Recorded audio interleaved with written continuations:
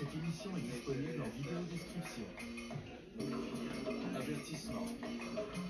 La présentation qui suit s'adresse à un auditoire de tous âges.